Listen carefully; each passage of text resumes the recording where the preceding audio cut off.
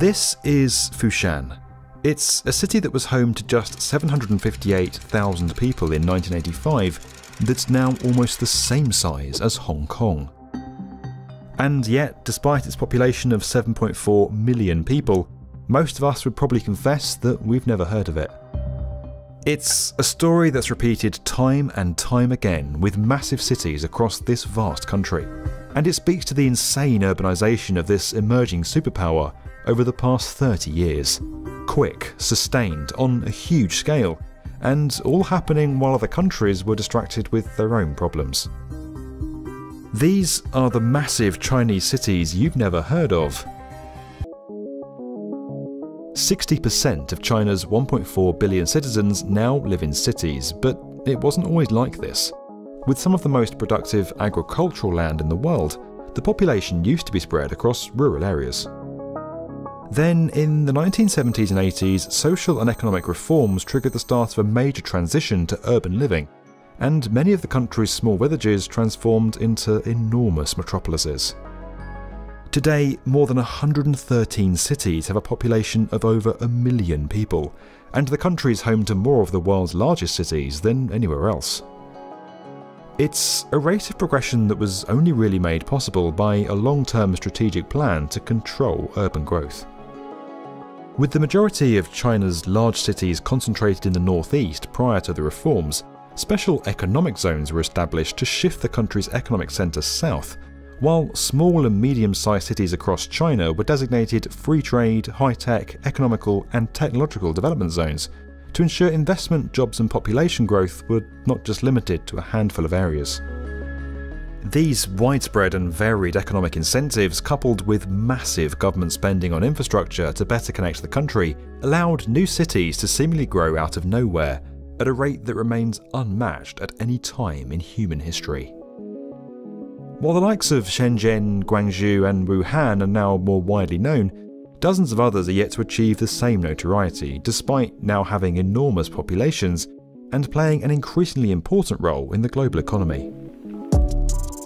Guiyang is a classic example of this. Home to 900,000 people before the reforms, it's now a city of 3.4 million, despite sitting more than 550 kilometres from the sea. Lacking the easy access to global markets that coastal cities enjoy, Guiyang's economy transformed from one centered around machine manufacturing and mining to services, with an emphasis on computing and big data. Foxconn, Microsoft, and Huawei all now run offices in the city. Despite now boasting a modern skyline, Guiyang has retained many historical sites, including the Qingyan ancient town and Jiaxiu Pavilion, which have contributed to a growing tourism base. Though still small for China, the city opened its first metro line in 2017 and has two more already under construction. A network of eight is planned in total. Heading to the east coast, Wuxi forms part of the Yangtze Delta megalopolis that's now home to over 75 million people. Nestled between Shanghai and Nanjing, the city's gone from 850,000 residents in 1985 to 3.3 million today. That's bigger than Athens.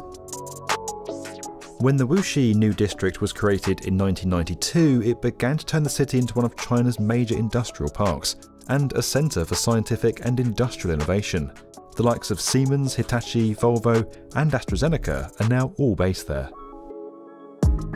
This abundance of multinationals has transformed the skyline, and 21 skyscrapers have been built since 2005.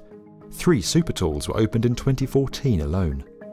Tourism's also played a part in the city's growth, particularly as it boasts one of the world's tallest statues, the 79 metre Grand Buddha at Lingshan. For comparison, the Statue of Liberty is just 46 metres tall without its base. From a city of just half a million people in 1984, Ningbo, also on China's east coast, is now the same size as Rome and Montreal, with a population of 4.2 million.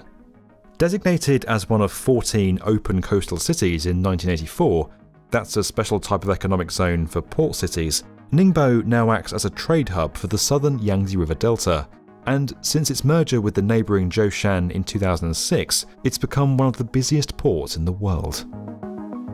As a result, Ningbo forms a major part of China's 21st century Maritime Silk Road initiative, better connecting eastern China with Europe. The city's transformation has seen it develop an impressive and modern skyline boasting 22 skyscrapers with a further 12 currently under construction, including the 409 metre Ningbo Centre.